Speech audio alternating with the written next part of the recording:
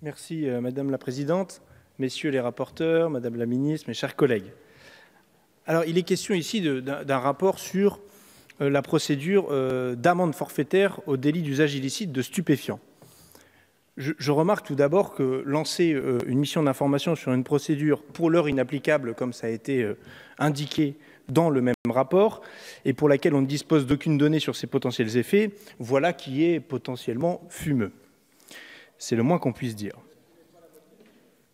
Et des arguments fumeux, j'en ai entendu quelques-uns qui se sont euh, succédés euh, à la tribune. J'entends qu'on euh, ne serait pas assez dur en matière pénale et qu'il y aurait peut-être là une clé de, la solution à apporter au problème, qui est peu de peine de prison.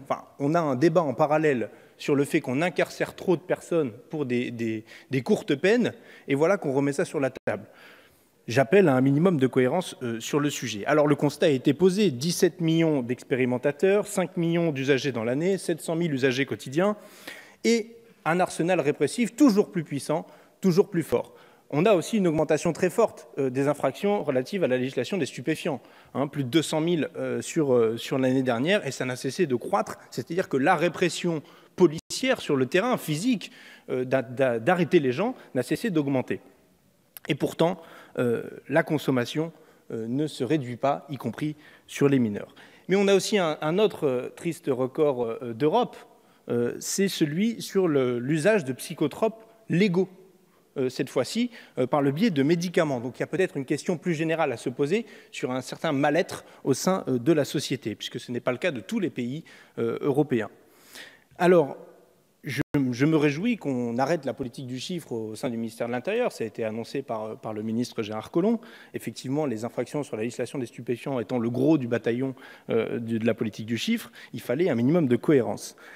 Alors cette, euh, cette proposition forfaitaire, pour moi, elle me semble aussi inefficace, notamment sur les questions de santé, euh, puisqu'il y avait quand même quelques obligations de soins qui étaient prononcées par les magistrats. Peut-être on peut penser trop peu, mais ça dépend aussi des cas de figure.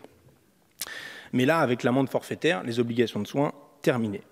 Et pourtant, on a des exemples européens, l'exemple du Portugal qui est intéressant, où ils ont franchi un cap euh, de tout décriminaliser, mais tout, absolument tout, et faisant baisser de moitié le nombre d'héroïnomanes dans le pays, qui était un nombre assez euh, important. Ils étaient à 100 000 héroïnomanes au Portugal, ce qui est beaucoup par rapport à leur population. Bref, on voit qu'en la matière, euh, il y a une, vaste hypocrisie euh, sur le sujet euh, du cannabis. Et s'il fallait constater l'hypocrisie, dans n'importe quel tabac de France, vous trouvez des feuilles longues sans, aucun, sans aucune difficulté. Pourtant, le cannabis, les stupéfiants, c'est un milliard d'euros de, de marché dans le pays.